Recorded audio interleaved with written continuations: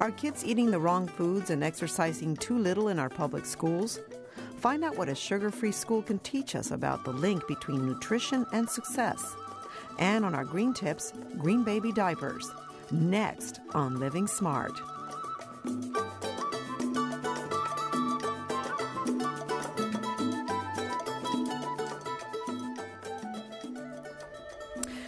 Yvonne Sanders Butler grew up the sixth of eight children in a sharecropping family with little knowledge of healthy nutrition.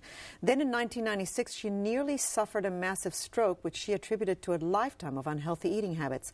As a principal of an elementary school, she also saw the effects of poor nutrition in her students and began a school wide campaign to create a sugar free school in Georgia, the only one in the United States at the time, and soon saw drastic improvements in her students mentally as well as physically. She's the author of Healthy Kids and Smart Kids, and the founder and president of Enovi, an organization created to help ignite wellness and healthier lifestyles. She's here to discuss the impact of diet and exercise in academic performance. Welcome to Living Smart, Dr. Butler.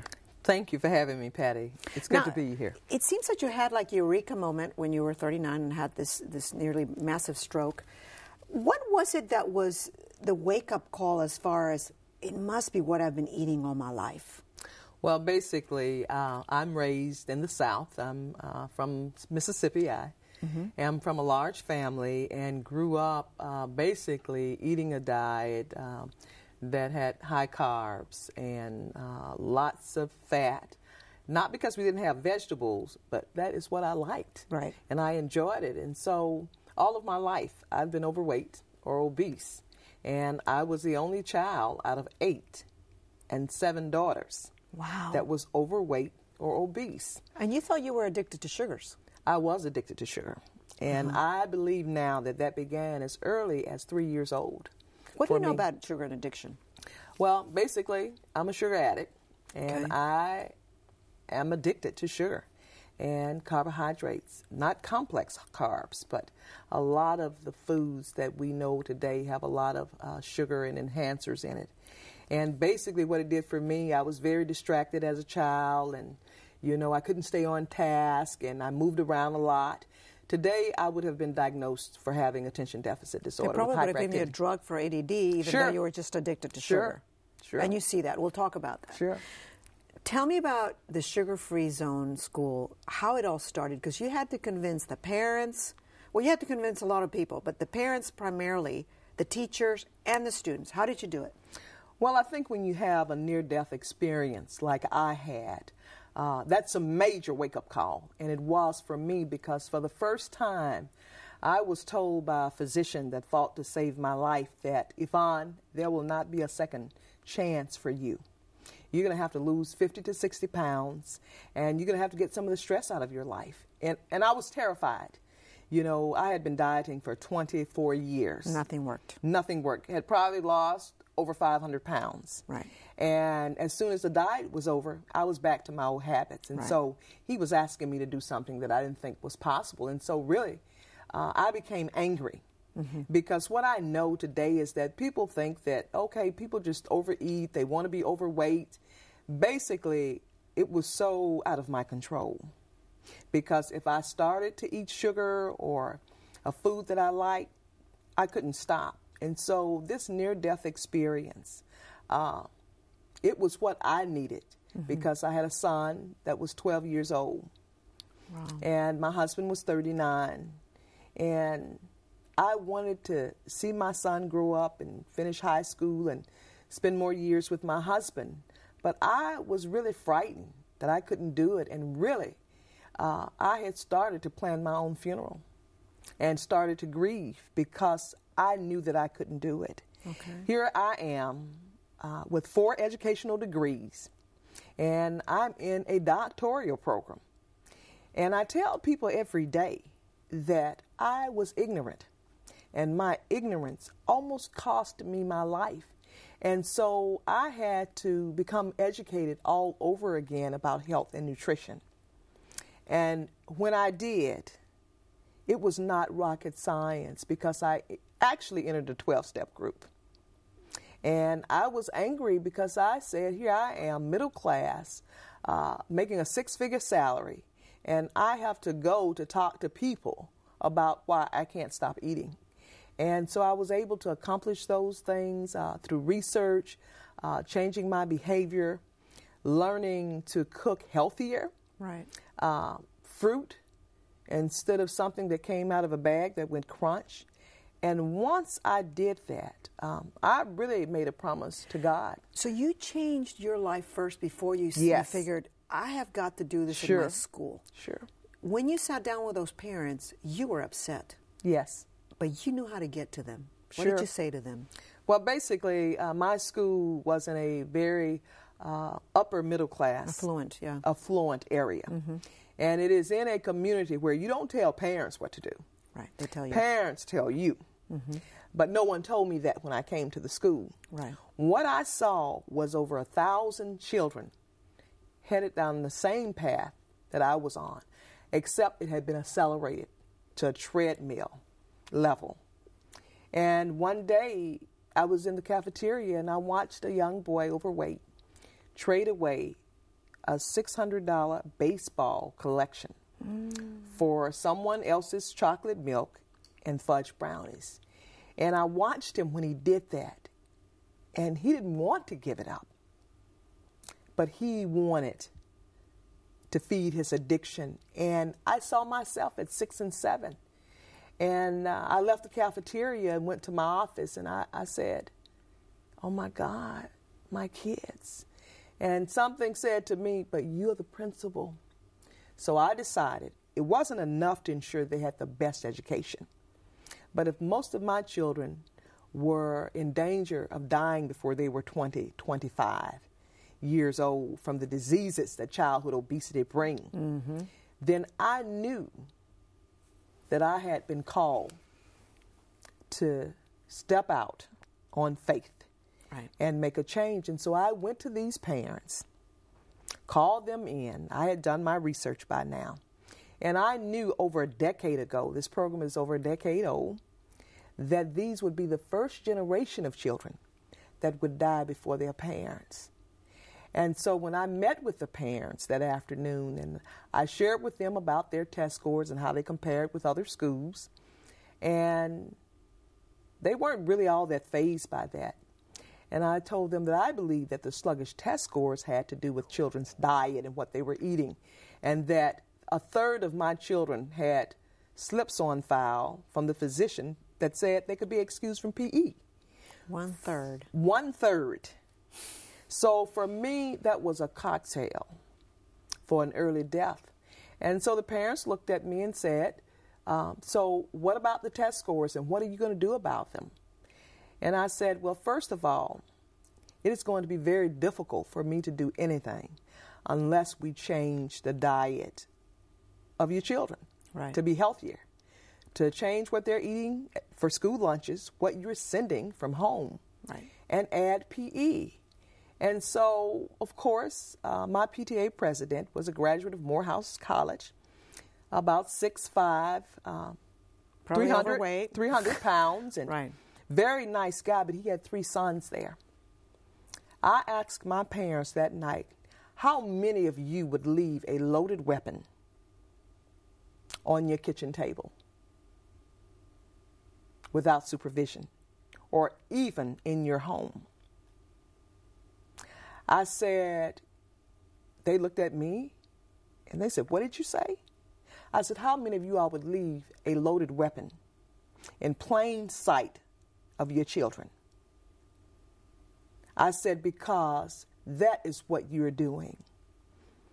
If a child picks up a loaded weapon, eventually they will pull the trigger. Mm-hmm. I said, and depending where the bullet enters the body, they won't have a second chance. 90% of them die.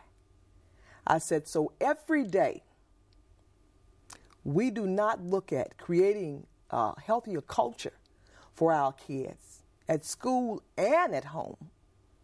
Think about you left a loaded weapon. Right. You're feeding them. You're feeding them food. That's and, killing them. And they're drinking beverages at an alarming rate. The average child, instead of consuming from 12 to 1500 calories for their age in an elementary school, they are consuming three times that amount. That's right.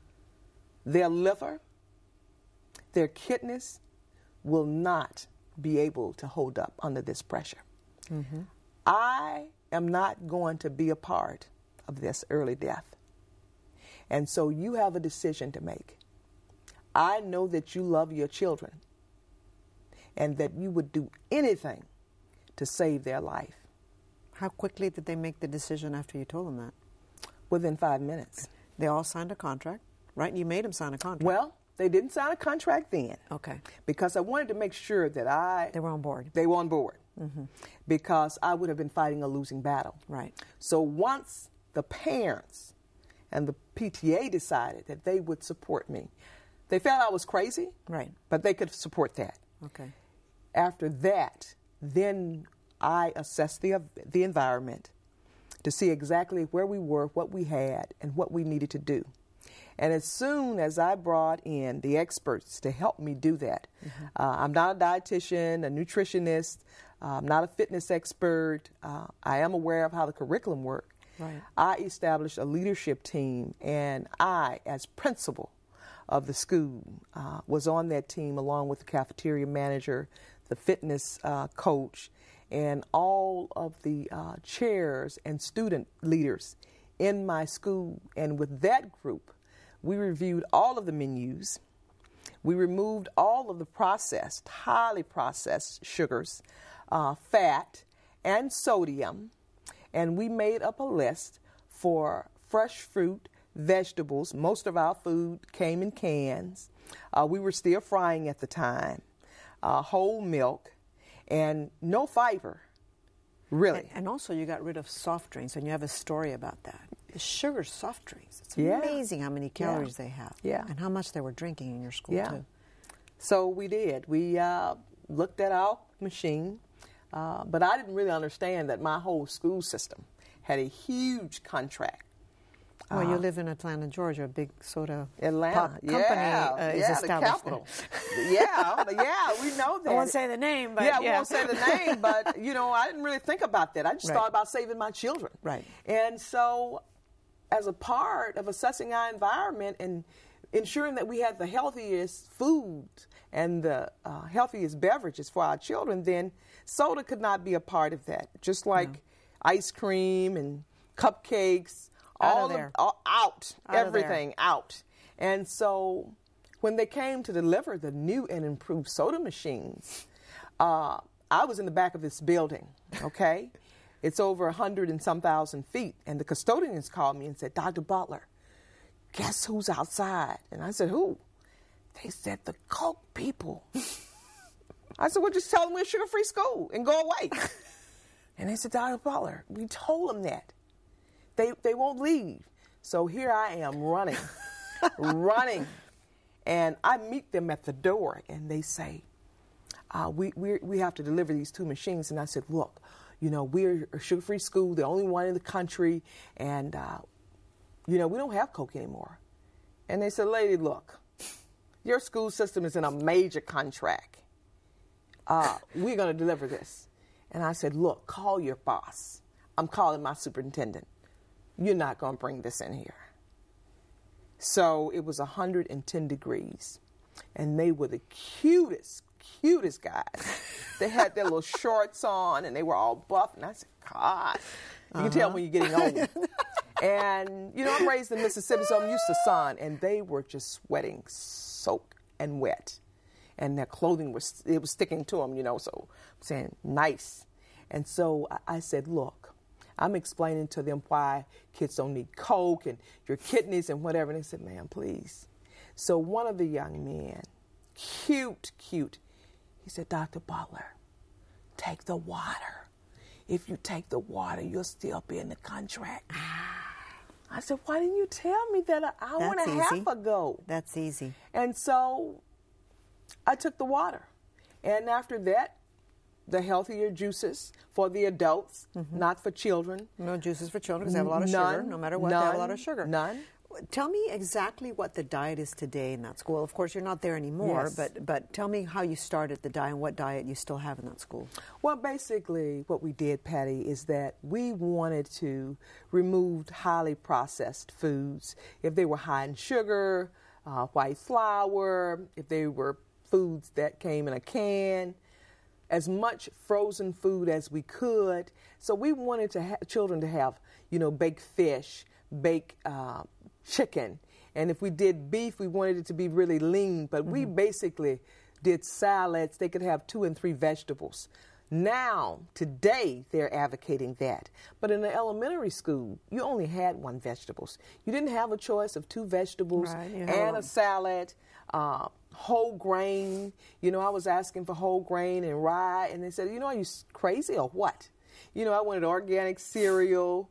I cut everything that had a sugar Component. base, frost, anything. That's it. Uh, people just went crazy. I took all of that out. So today, if you were coming to my school for breakfast, instead of you having syrup with three containers of syrup that your children made a little boat in their tray and they would float it, then they would drink chocolate milk, and then they would be in my office like in 10 minutes. Nervous and spinning, upset.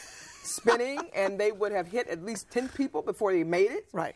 And so today, if you go, perhaps you will have whole wheat pancakes, but with fresh fruit. Right, right. And you can have a choice of milk, even soy. Mm-hmm. And you can have natural juice And from you USDA You also have uh, exercise every day for an hour. every day. You start the day with exercise, correct? we start the day every morning with the entire school dancing. okay, fantastic way to start. Great way. Let's talk about how quickly you saw the change in academic performance and also in health performance because I understand these kids stopped taking so many drugs. Yes, yes. The first semester, we saw the first sign of academics, our first norm testing, state testing. But really, 60 to 90 days, we start seeing behavior change within children. After the first week, the kids came to school, we had no chocolate milk, and they said, Well, where's the chocolate milk? Where's the cake? You know, what are we going to do about birthday parties?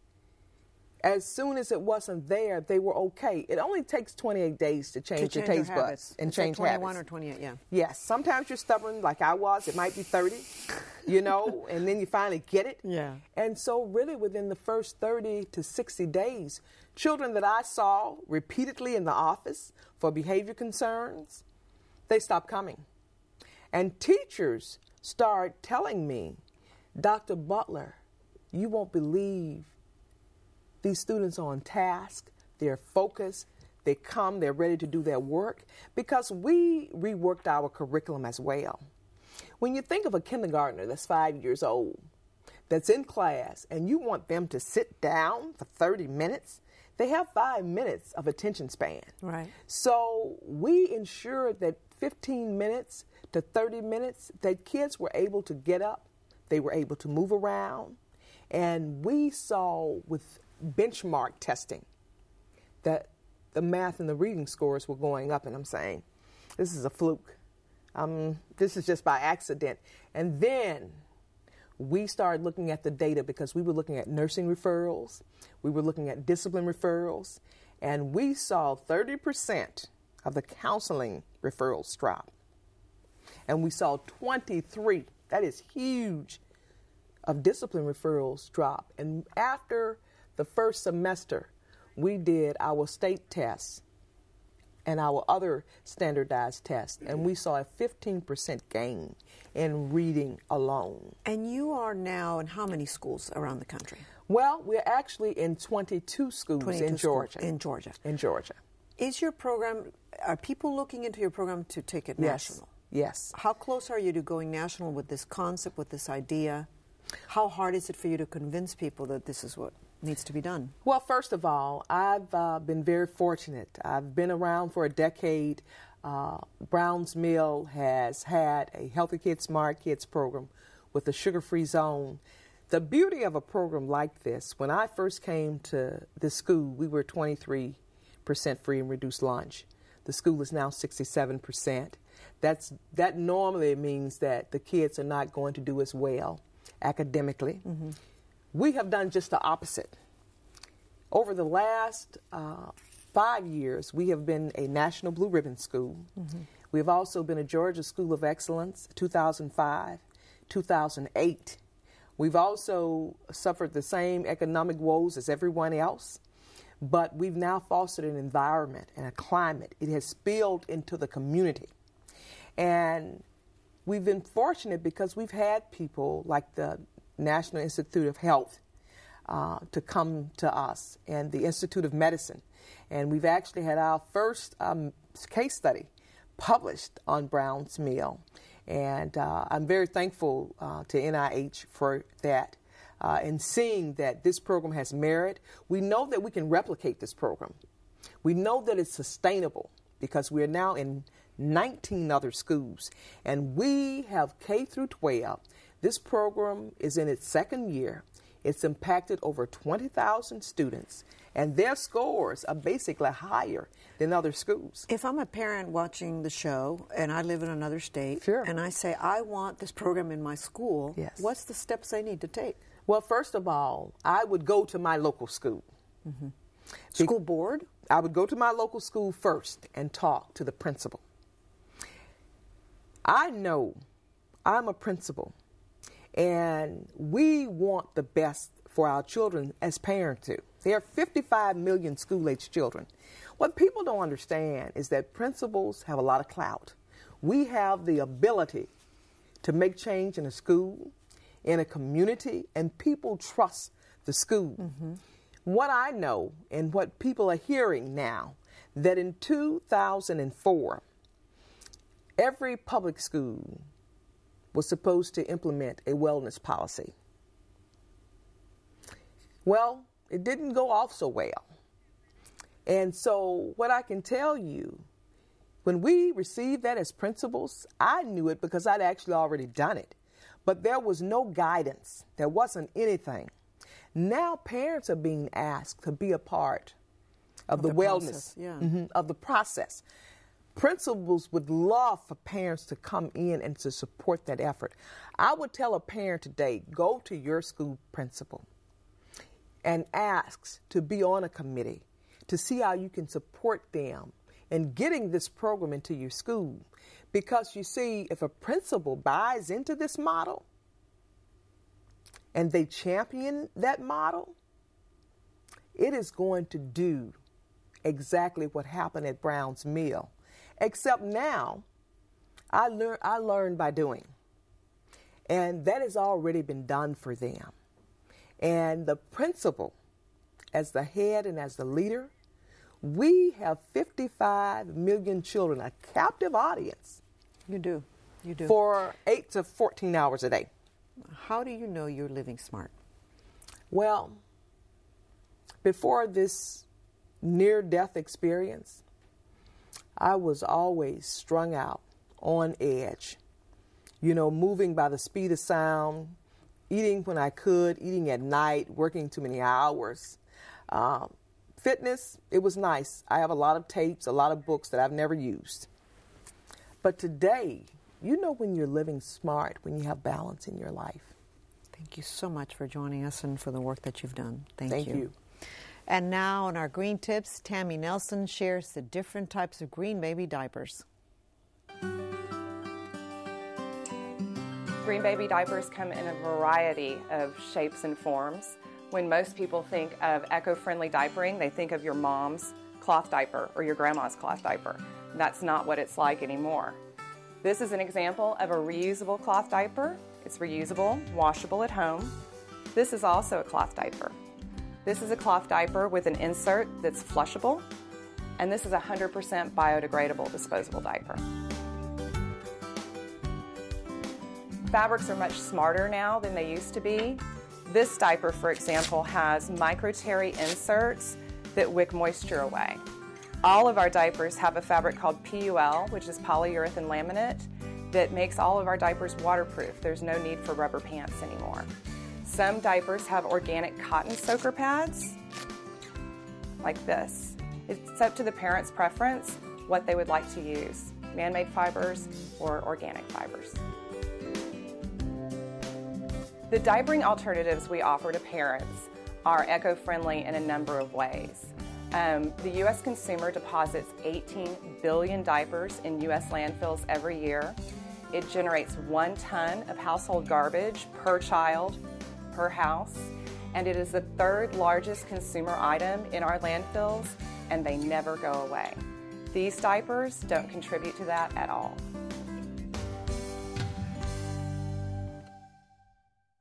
To learn more about green tips or sugar free schools, go to our website.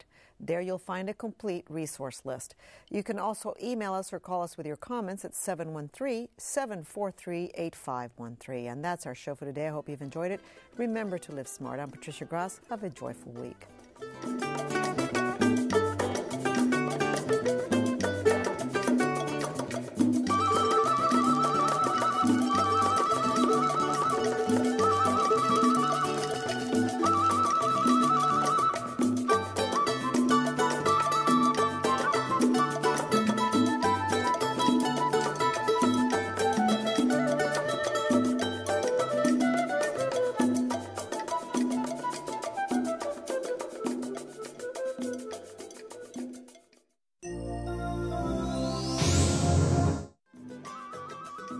Transcript of this program, send 695 to the address on your screen.